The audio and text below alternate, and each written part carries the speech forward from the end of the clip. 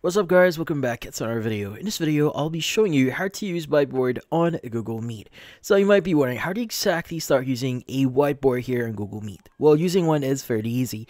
So first things first is you want to go ahead and access your meeting here, and you want to go and click on the dotted option you see here next to the lock icon or the host controls here. Now you have meeting tools. Go ahead and click on it.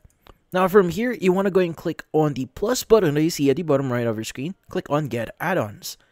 Now from here, you want to search for the app that we want to use. So in this case, just type in whiteboard.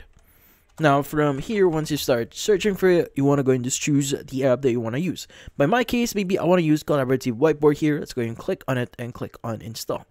Now from here, it's going to ask you to log in or sign in. Let's go and click on continue. Now once you've done that, it should initiate the installation and once it's actually installed, you should be able to start using the app or the actual app itself.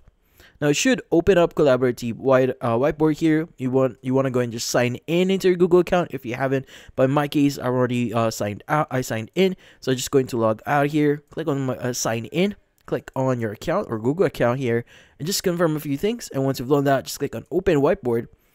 And from then on, Whiteboard should now be opened in here.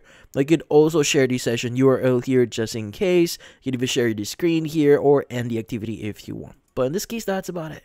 So, if you found this video helpful, don't forget to leave a like or maybe subscribe to our channel. Thank you for watching.